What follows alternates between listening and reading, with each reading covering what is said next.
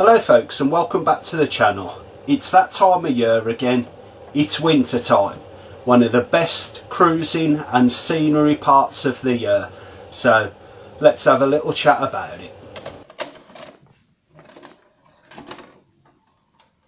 Now I love the winter on the canals because the views, the scenery, the landscape, everything changes.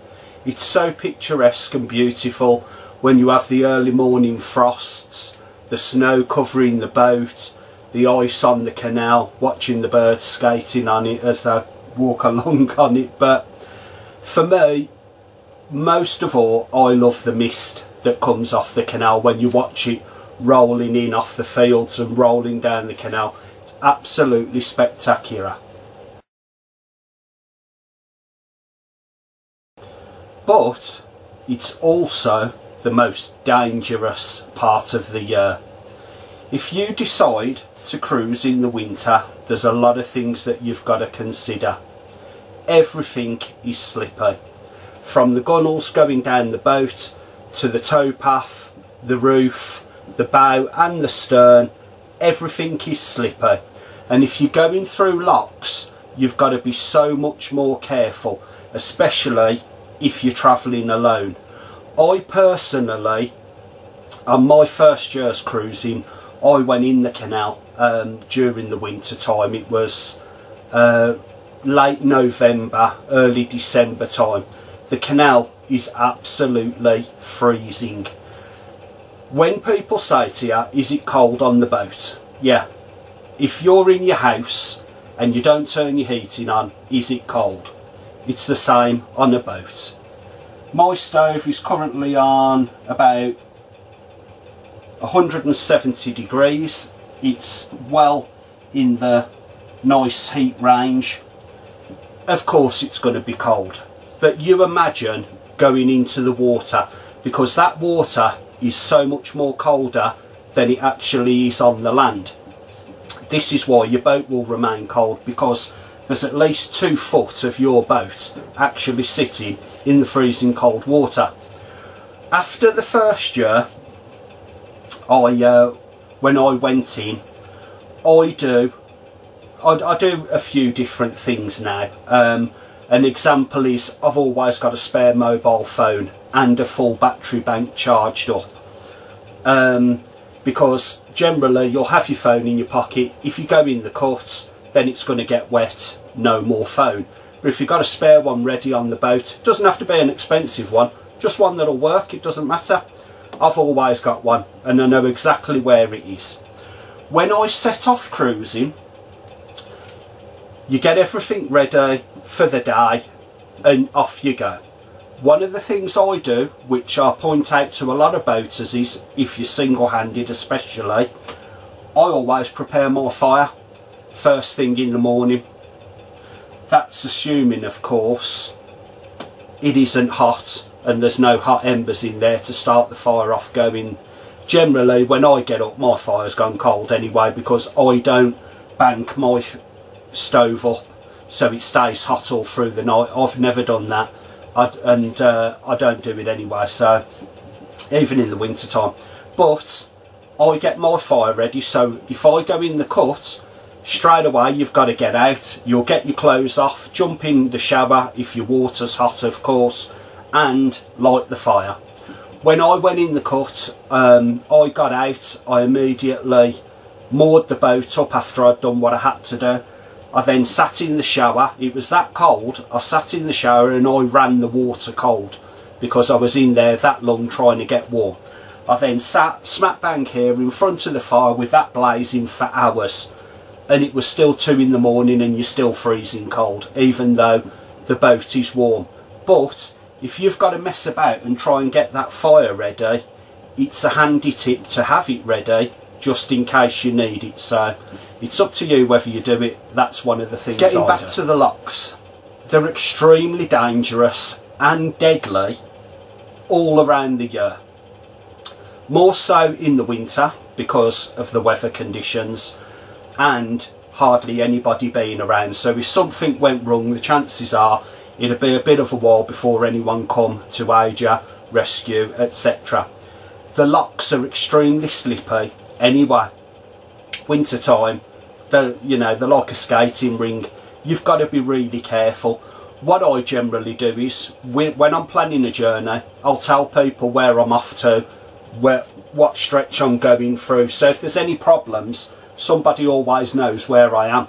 If I'm more up I tend to moor in isolated areas away from everybody not in cities. I don't like them I'm not antisocial. That that's just what I enjoy.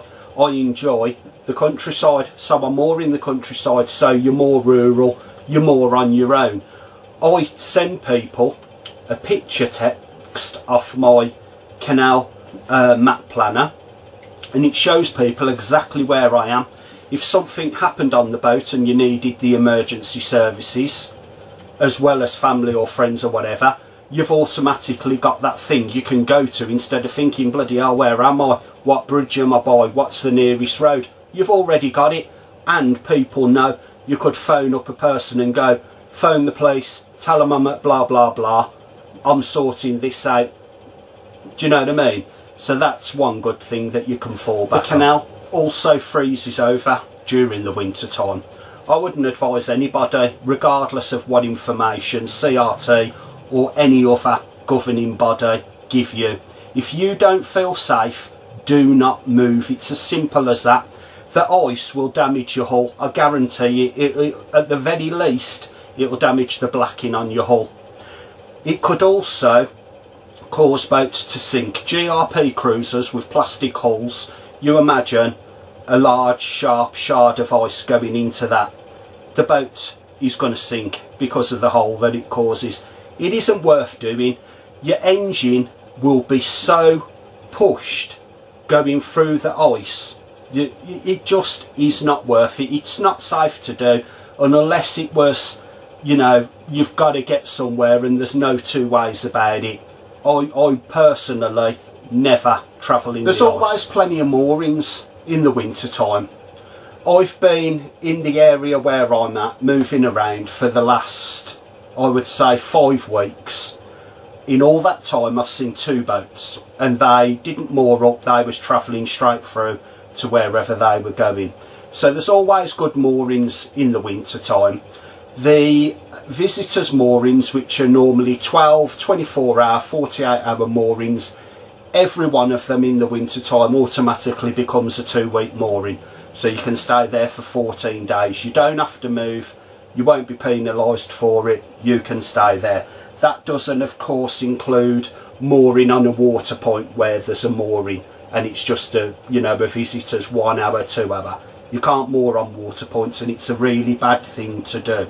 So just don't like do any time of the year you've got clothes for that season in the summer you'll wear shorts etc I know I'm wearing a pair of shorts now but I am absolutely roasting on this boat so, plus I'm sitting next to the bloody fire, so that ain't helping. But yeah, we've all got specific clothes. This is the case when you're moving your boat. Hats, gloves, good all-weather coats, as well as waterproof trousers, good non-slip boots, things like that. They're all going to come in handy and you'll get your use out of them. So it is a good idea, even if you only use them for a few weeks of the year at least once you've got them you can always fall back on them they're always there for you to use and it, even in the summertime we get thunderstorms and things like that if you're moving your boat in the pissing down rain it's no fun so the stuff does come in handy so it is a good idea to get yourself some good gear. It's a good idea before the winter if you can to give your engines a service. Doesn't have to be a massive one but the bigger the better. I did mine about uh, so I did mine about October time so the weather was still good. I changed the belts all the filters oil and diesel. I changed all of the oil. I did everything that I needed to on my boat. I even checked the injector system. I even took all the battery bank apart and checked all the batteries. I've currently put new batteries on my boat. Um, so I've just changed them basically uh, and put some newer ones on. But the solar you can't rely on it this time of year. You know you might get 30 volts 0.2 0.5 amps that that ain't going to do bugger all apart from just put a slow trickle into your batteries. That that's all the solar's going to do. So that means you're going to have to run your engine if you're using an inverter to turn 12 volt into 240 volts. So it's always a good idea to make sure that engine is purring like a kitten. If you can afford a generator get a generator even if it sits on the back of the boat and is used for a few weeks a couple of months a year. They're worth the weight in gold it's constant power and if you get a good one a modern one they're, they're very cost effective and don't use tons of fuel anyway because it ends as if you've got it on for all that long any, anyway during the day. But the engine is key to everything. As long as you've got that engine turning over it's creating current it's creating electricity. So that means you can use all your phones your gadgets your gizmos etc it's a brilliant idea. You've got to get it done. Engine servicing isn't hard. I've done it myself. I've done videos on it. I've done videos on my solar. Everything that I'm talking about there'll be a video to it on my channel. So they're well worth a look at if you've got a bit of spare also time. with the engine it's good to make sure your antifreeze levels are topped up your stern gland sorry your stern gland greaser that I think the beer's kicking in. You know you know it's working when you start mumbling. Yeah. Some people have automatic ones um, which will be fed off the canal water. So it's like a self-lubricating system. I don't, I have the brass tube full of grease, you give it a turn. What you've got to remember is if you're sat somewhere for a day, two days, two weeks or if you're in a marina you could be there for months you've still got to turn that greaser every couple of days at least. Give it half a turn. That'll keep the grease packed in the stern gland and that'll keep your boat all the more dry in the engine bilge. Don't let people say or tell you that you only need to do that when you're cruising. No, no, no, no, no. You do it when you're moored up as well. Keep that engine bay nice and dry. A little drip every now and again, that isn't a problem. Don't worry about that. But turn that stern gland greaser. Just half a turn every couple of days. It's also a good idea to keep um, a few spare parts, oil filters, fan belts especially, things like that, engine oil, filters, they're not expensive and at some point you're going to use them anyway. So you might as well keep a spare and get them while they're going a bit cheaper as to buying it in a year's time or trying to get one when you're broken down in the middle of nowhere. That's why it's a good idea to keep spares. So I would if your budget you know can stretch to it get two or three. Doesn't matter your boat's not going anywhere your engine's definitely not going to be changed the parts will just sit there so it makes sense to just keep them just in case it's also a good idea to keep a good stock of long life foods, i.e. rice, pastas, canned goods and even long life milk. This time of the year I start maybe um, October, November time packing my cupboards out with tinned foods, rices, pastas, long life milk. I've got packs of long life milk and think because I, I love my cups of tea in the morning and that. So it's a very good idea to get all that lot because you don't know what's going to happen on the canal system. An example of that is a friend of mine a couple of years back. Um, I can't remember what canal he was on. There was a, a small breach in the canal. They shut the canal down for three months. He couldn't move his boat for three months. People um, to do with the CRT was having to bring water and things like that up to the boat for him because it wasn't close enough for him to go and get, bring back and things like that. So that's what was happening with that. So if you can, if your budget will run to it, I've got on my boat probably at least three weeks worth of food on my boat. So I could be in the middle of nowhere, no shops etc and I can still eat well. I can drink every day you know. So it is a good idea to do that. Also it works the same with your coal your wood your kindling and your firelighters you have to think to yourself how long will that last? How long have I got heat on my boat? On my boat I've currently got probably enough fuel to last me a month and that's because I cut my own wood. I cut it, I stack it I process the whole lot myself. I know because of doing that how long it's going to last me.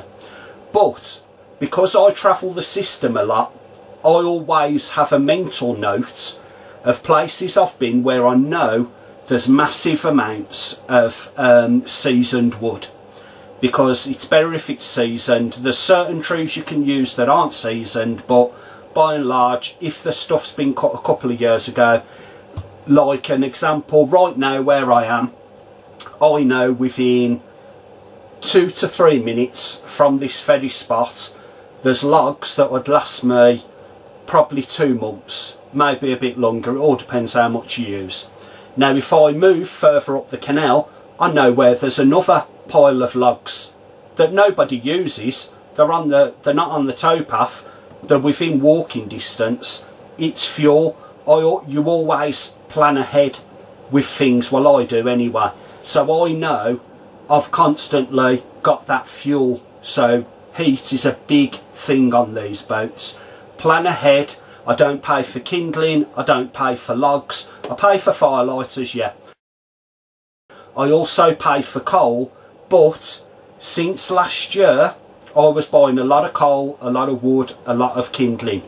I hardly buy any of it now and it saved me a bloody fortune just by doing a tiny little bit of work an hour, two hours out of your day once a week, not all the time, you're set. You must have seen my videos collecting the wood, processing it and things like that if you're on my Instagram there's thousands of pictures on there you can actually see what I'm actually doing. Now then, um, if you're lucky enough to have fuel boats in your area, these boats will carry gas, coal, diesel, wood, basically all your necessities for keeping your boat moving and keeping your body warm. Me personally, I've never seen a fuel boat in all my years of travelling the system they tend to stick to highly populated stretches of the canal um, where there's a lot of moored boats, there's marinas, things like that, you know. And yeah, they do a fantastic job. If you're going to spend money, spend it with the fuel boats because they keep a lot of people going during the winter. They're fantastic people. They'll help you out if you need a bit of help. So yeah, we, we talk about nowadays keeping money in the country jobs for people that are here, etc., etc. You won't get a more, you know, job like that needs a little bit of help than the fuel boats because they do to keep them going. They help a lot of people out. So if you're lucky enough to have them in your area, I would say use them. Me personally, I was visiting a friend at a marina. Uh, well, it's not a marina, it's uh, offside um, canal moorings um, over in Birmingham and they were selling coal in their chandlery shop for what was it? It was five 25 kilo bags of smokeless coal and that was 45 quid.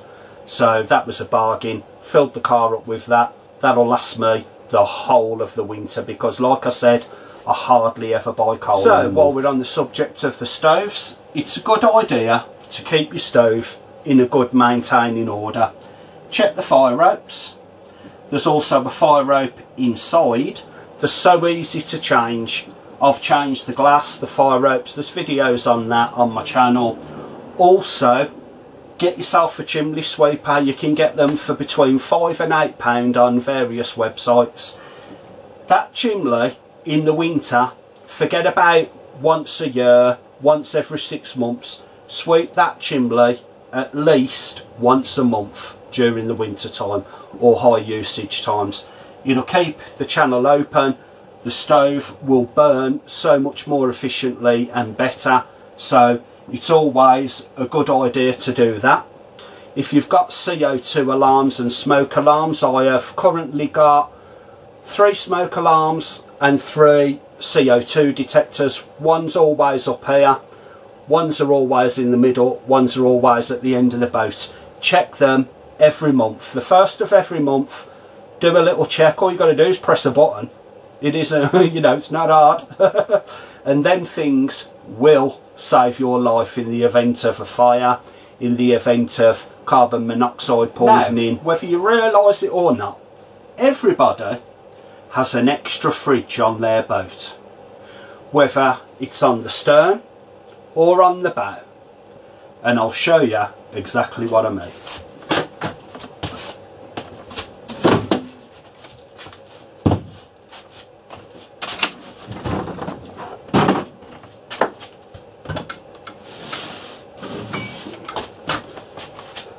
These are so cold. right.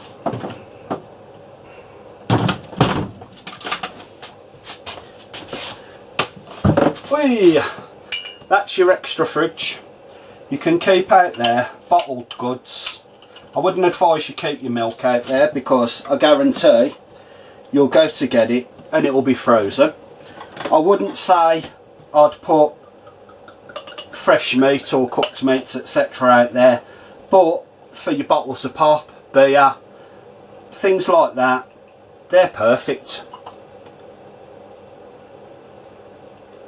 Look at that. Lovely cold beer, one of the best in the world, my favourite. And it didn't cost me nothing to keep it cool, so cheers. Oh, what a pint, man. But yeah, there's also, I like to call it smart mooring. If you can, park or your car, if you use one, where it's easily accessible to your boat, moor up where you're in walking distance to a shop, things like that. I mean, I move my boat, then I have to move my car and things like that, so I call that smart mooring. I'm mooring by where I've got a usable car park that's that's free basically because the parking fees can be pretty ridiculous nowadays. But yeah, park by a shop, park by family, friends, etc. Get your moorings so you're planning ahead. Everything is always planning ahead. You've got Nicholson guides which show all the waterways and they'll show them in detail. You've got loads of phone apps canal route planner, things like that. Plan ahead, look where you're going, look what's there, look what's feasible for you to get to and carry stuff because if you're moored up in the middle of nowhere like I generally do and you're carting stuff up and down the towpath I'm able to do that. A lot of people can't. So smart mooring use your head and make life easy on yourself. During the winter time a lot of people they'll moor the boats, they'll leave them for a couple of weeks, they'll come back and then they'll move it on a bit more, moor it up again and it's a progression, you know. They will winterise the boat. If you're living on your boat, you don't need to winterise it. I'm not going to go too much into it, but it's basically so pipes don't freeze and, you know, things like that. There's videos on winterising boats. I'm not going to go into that because I, I don't do that. But what you've got to consider if you're leaving your boat for any period of time is during the winter the canals and rivers, not all of them, tend to flood. They'll go, the water levels will rise and they'll lower. It's one of the easiest ways to sink your boat. And uh, I wouldn't advise leaving your boat for prolonged periods of time. I've had people where I've been moored and people have moored by me and said, how long do you stay now? Uh, and I've told them, you know, I'll be here a week, two weeks, whatever. Can I leave the boat? Will you watch it? Yeah, I'll leave the boat. Make sure you leave your phone number and the contact details, etc. Because if anything happens, I'm not kicking your door in to go and pump water out and stuff like that. For the simple reason, I might get done for breaking and entering. I'll loosen your ropes, I'll tie your ropes, I'll pull your boat in a bit more, but boats sink. It, it's as simple as that. You're on the water. I'm not kicking your door in and getting nicked for it. So you've got to use your head with these things. I know you might think you're helping out. You're not helping out. You're putting yourself in a predicament. So if you're going to do that, you've got to think ahead. So There's loads more we go. could talk about, but it's little things and, you know, it's like nitpicking and stuff like that. What I will say is, don't think you're Captain Big Bollocks, getting pissed and going on a journey down the cut and mapping out the whole world because you're not. You're never going to do that. People make stupid decisions when they're drinking. My advice is I never drink when I'm piloting my boat. I never drink when I'm going out cruising. It doesn't matter whether it's the summertime, the wintertime, whenever. It's a really bad idea. You'll make stupid decisions. You'll get yourself in trouble. I'm not saying be a teetotaler because it's obvious I ain't. What I'm saying is there's a time and a place for things. Don't allow it on the boat. Don't do it yourself. Have a good time. It's coming up to Christmas when you're moored up. Everybody can enjoy themselves. You don't have to be drinking on the back of the boat and carrying on like an idiot. You've just got to keep safe because people don't realise these things are death traps, the canal. There's, there's so many ways you, you can injure or kill yourself or kill others or injure others on the canal. The lists can go on and on and on and on. It's crazy and some of the things I've seen people do, it makes you wonder, you know, what what's rattling round in the head. So the whole idea is just be safe, enjoy yourself, enjoy the canals. So cheers and bye for now.